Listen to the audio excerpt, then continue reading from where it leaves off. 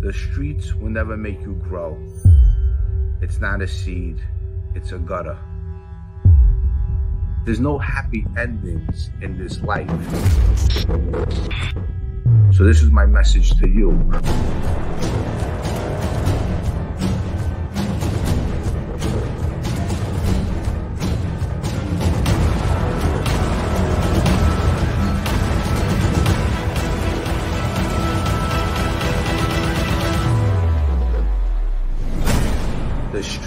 Will never love you back. Pow! Bang! Anyway, hi guys. Well, today I got another story for you. Now, before I get into that, what I'm going to do is I'm going to start creating a new channel for a clothing channel. Now, all these old clothes that I have, I wear a lot of name brand clothes, whether they're sneakers, whether they're shirts, pants, stuff like that. And I have so much of it. So what I'm going to do is I'm going to explain on a new YouTube channel. This stuff is going to be up for sale. So instead of throwing them out or giving them away, I'm going to resell them for a good price and uh, they're all name brand clothes. So in the future, look forward to that. So I'm going to be creating a new YouTube channel just for clothing of my old clothes, the old name brand, and believe me, you're going to like it. They'll be good for uh, a good price, and it's something some of you might be interested in, you know. But uh, what I have to talk about today is I'm going to be talking about Sally Fusco. What happened was I ran into Sally Fusco on 18th Avenue, and 65th Street in Brooklyn, maybe uh, about a year ago. I went there to eat pizza with my kids, and Sally Fusco's there. Now, I know Sally Fusco from back in the day. I did some time with him in 1993. He was also in Lewisburg Penitentiary. Sally Fusco is probably one of the good guys in the Colombo crime family. He's very low key. He has a powerful position He's a captain in the Colombo crime family, and uh, he's a guy you really don't hear about. His uncle was Richard Fusco. He was uh, a big shot in the Colombo crew. But these guys are very low key, and this guy is actually a worker. He works very hard in a, a cake business, and he distributes through all the restaurants in Brooklyn, Staten Island, Jersey. But he's a hard worker. He's like an old school uh, Italian kid who grew up with the values and smarts of working and staying low key. But he has a good story behind him. The story behind him was he was actually a part of the bypass gang. They used to rob banks. Him, Mikey Bloom, Gas Pipe, uh, Sessa, Carmine Sessa, and they had their own little crew that would rob banks. They would break into them like on a Saturday night and stay in there for the whole weekend and clean the whole place out. And they did this for a little while. And there was one bank that they robbed that was located on 15th Avenue and 86th Street. I think it was a Chase Bank and they robbed all the safe deposit boxes. And after they robbed them, there was a lot of wise guys that had some safe deposit boxes located in this bank. And the wise guys knew who did it. And eventually they got all their belongings back.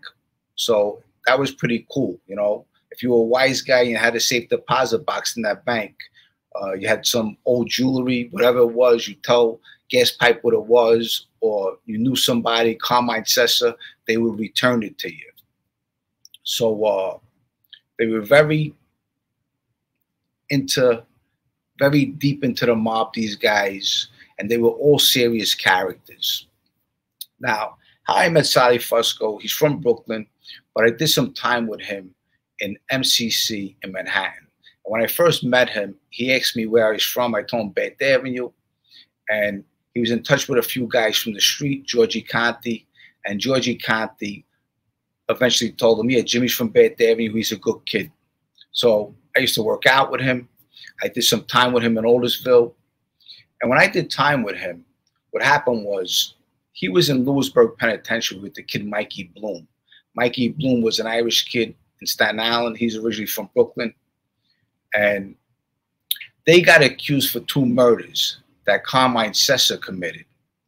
And Carmine Sessa eventually comes forward later on and he admits to these two murders. And these guys are doing time for these two murders. They went to trial and they blew trial.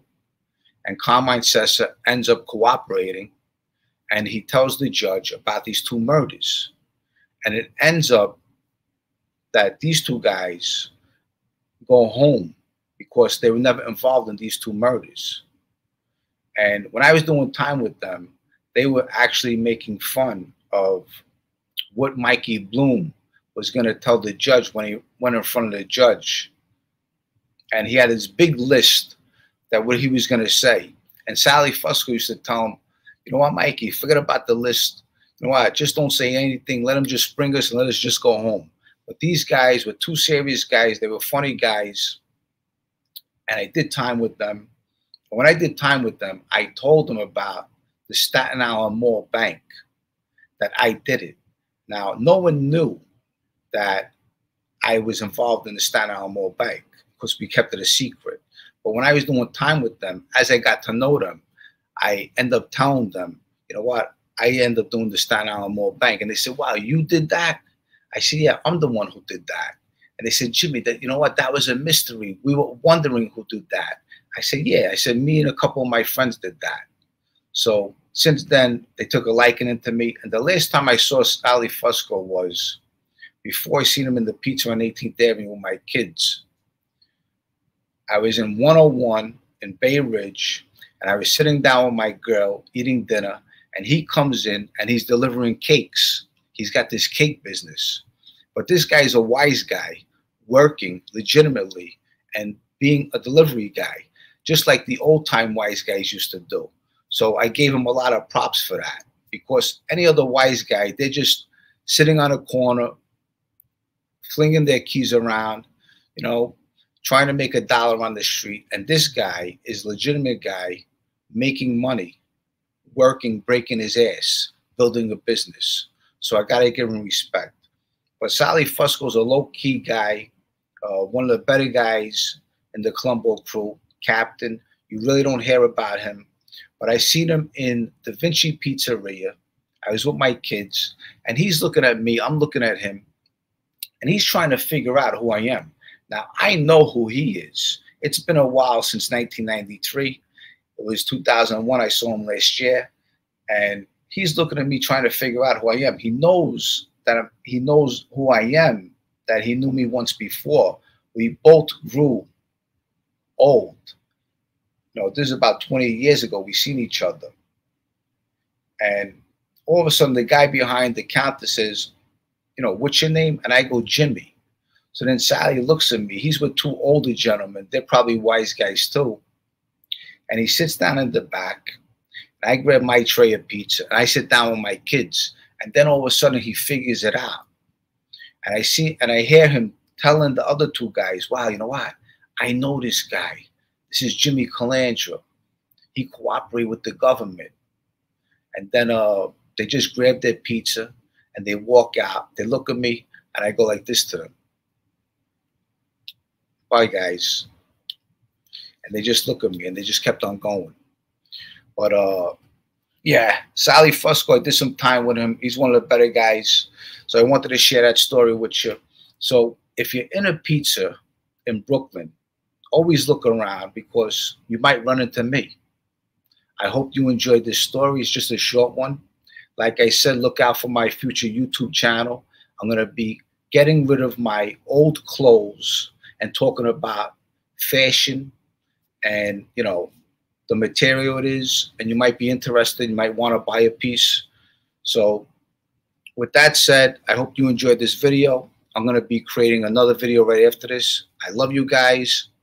Thanks for the support, and I'll see you all again soon. Bye, guys.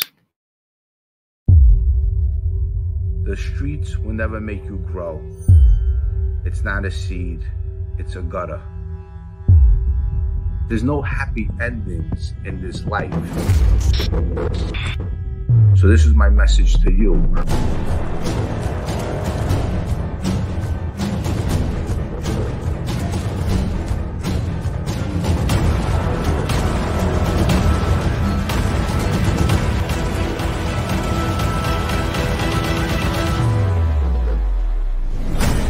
The streets will never love you back.